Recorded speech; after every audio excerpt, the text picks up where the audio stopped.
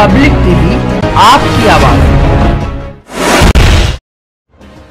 Can't road स्थित Asian Vivekananda hospital में Moradabad handicraft exporters association और यश सोसाइटी की एक संयुक्त बैठक मुरादाबाद चैरिटेबल ट्रस्ट के सदस्यों के साथ हुई। आयोजित बैठक में आगामी कार्यक्रमों पर चर्चा की गई। जिसमें बताया गया कि 11 और 12 जनवरी को आयोजित होने वाले कैंप में विकलांगों के लिए किस तरह से व्यवस्था की जाएगी, साथ ही सभी पदाधिकारियों को ज़िम्मेदारी भी सौंपी गई। आयोजित बैठक में बताया गया कि लघु एवं हस्तशिल्पियों तथा फर्मों में काम करने वाले कर्मचारियों के लिए इस कैंप का आयोजन किया जा रहा है, जिसमें आम जनता भी शामिल होगी। आयोजित बैठक की अध्यक्षता चैरिटेबल ट्रस्ट के सचिव वरिष्ठ निर्यातक विनोद खन्ना ने की और संचालन एशियन विवेकानंद हॉस्पिटल के डायरेक्टर डॉक्टर हरजीत सिंह के द्वारा किया गया। आयोजित बैठक में मुख्य रूप से मुरादाबाद हैंडीक्राफ्ट एक्सपोर्टर्स एसोसिएशन के महासचिव अवधेश अग्रवाल, यस के राष्ट्रीय संयोजक नीरज खन्ना, यस के मुरादाबाद अध्यक्ष उदित शरण, सचिव विशाल अग्रवाल, वरिष्ठ निर्यातक वीना गुलाटी, गोपाल मेहता, ललित चौधरी, करण दुग्गल तथा मुरादाबाद चैरिटेबल ट्रस्ट के सभी पदाधिकारी मौजूद रहे। कार्यक्रम के विषय में वरिष्ठ निर्यातक विनोद खन्ना ने बताया कि 11 और 12 जनवरी को कांट रोड स्थित एशियन विवेकानंद हॉस्पिटल में दिव्यांग व्यक्तियों के लिए विवेकानंद नर्सिंग परिसर में कैंप का आयोजन किया जा रहा है जिसमें सभी से अपील की गई कि सभी आएँ और इस कैंप का लाभ उठाएँ।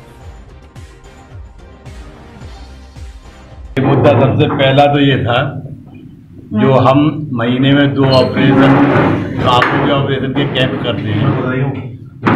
उनके कैंप में हमारे साथ जो है और अच्छी तरीके से करने के लिए मुरादाबाद हैंडीक्राफ्ट एक्सपोर्टर एसोसिएशन यस वालों ने भी हमारे साथ में जुड़ने की सहमति दी। और दूसरा जो था वो जो कपड़ा बैंक की स्थापना थी, जिसमें गोपाल मेहता जी ने और गुलाटी साहब ने ये बताया कि हर घर में पुराने कपड़े और छोटे कपड़े हुए हुए रखे रहते हैं, जिन्हें जरूरतमंद जरूरतमंद लोगों के लिए जो है, विवेकानंद अस्पताल में उसका संग्रह सेंटर और चित्र सेंटर बनाया गया। और इस कार्य के लिए शहर में करीब तीस चालीस सेंटर संग्रह सेंटर खुल जाएँगे। जिसमें ये लोग बाबू से पुराने कपड़े ला के और यहाँ पे विवेकानंद अस्पताल में वितरित किए जाएँगे। मैं सबसे पहले तो ये कहना चाहूँगा कि आज एक बहुत महत्वपूर्ण बैठक हुई है, जिसमें यस ने और एम ने और आज चैरिटेबल ट्रस्ट के साथ जो भी वो मेडिकल कार्य कर रहे हैं, उसमें पूर्ण सहयोग देने का हमने वादा किया है।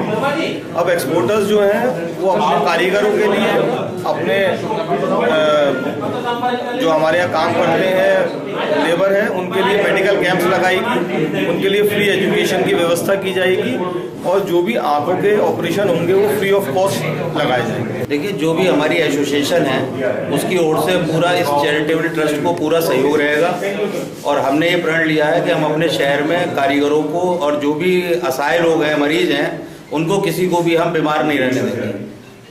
तो क्या ये कैंप जो है यहाँ से हटके भी लगेंगे?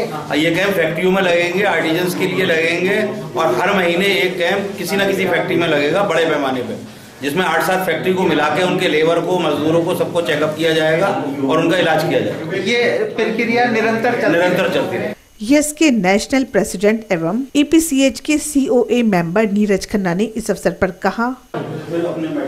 इस मंच पे आने का मकसद ही हम लोगों का यही था कि हमारे आर्टिजन्स और कारीगरों को बेहतरीन मेडिकल सुविधाएँ मिल सके।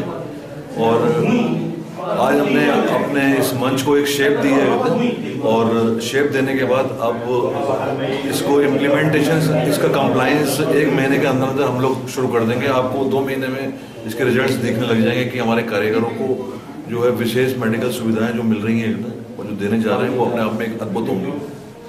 तो मतलब ये जो कदम ताल आप लोगों ने की है इसके परिणाम जो है वो अगले महीने से आना शुरू हो जाएँगे। एक महीने के अंदर आज इसका आज इसका शेप दिया गया है। और एक महीने के अंदर अंदर हम लोग उसको कंप्लाइंस कर देंगे।